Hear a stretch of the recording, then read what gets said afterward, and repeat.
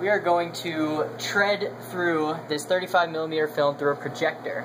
So the first thing that we want to do here is we want to line up a frame with where the light shines through here.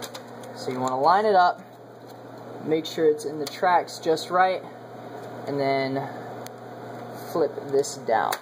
So it's locked in there, you want to make sure it's not pinched anywhere. Next thing we're going to do is we're going to make a loop here around this. Now you, to size a loop, you want it to be just the right size so your finger barely grazes it here between this and the wall, otherwise it's going to make a bunch of noise. The next thing is to go through where the laser is, and this laser reads the audio levels.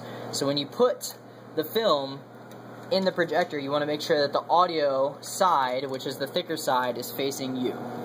Alright, next we're going to roll through here.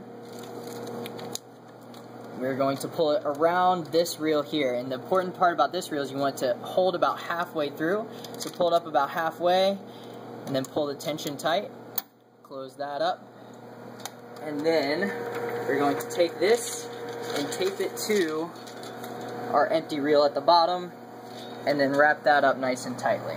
Alright, so we recheck everything, make sure it's all tight, make sure it's good to go. And the last part is we make a loop here, just bigger than the size of the reel where it's going through. Alright, so we're going to close all this up, make sure everything's tight and nice and ready to go. And then we're going to flip the motor switch here.